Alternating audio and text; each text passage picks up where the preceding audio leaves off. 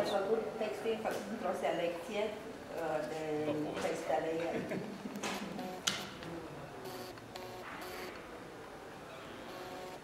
La noi a fost adus ceva, n-am citit, îmi pare rău. Uh, nu, nu, tocmai de aici a Da. și pornit uh, toată Da, da, povestea. da, da.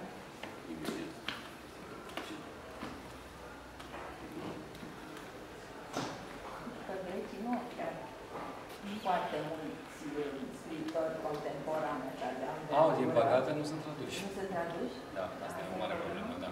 da.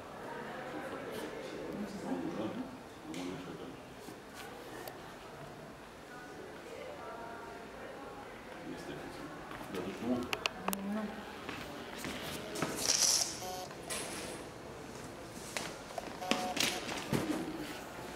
Gata.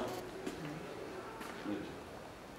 Cum ați descoperit-o pe scriitoarea Margarita Carapanu? Mai întâi am citit-o firesc în, firește în, în greacă, mi-a plăcut foarte mult și uh, am tradus o, un roman al ei, care se numește Da. Uh, am început să caut edituri interesate, din păcate n-au fost interesate. Uh, oricât îi iubim pe greci, uh, nu-i, tradu- adică nu-i publicăm. Uh, și atunci am început să, să opresc câteva fragmente care m-au, m-au nu știu, m-au interesat mai mult sau m-au plăcut mai mult sau s-au părut cu un impact mai puternic. Uh, și am început să scriu printre fragmentele Margaritei Carapanu și să creez o situație dramatică.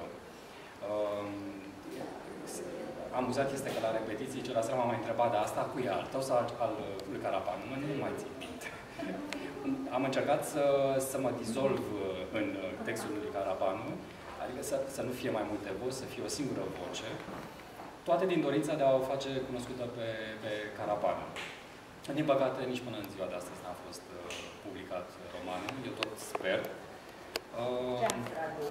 Că n-am fost uh, atât, da. Se numește Da, romanul.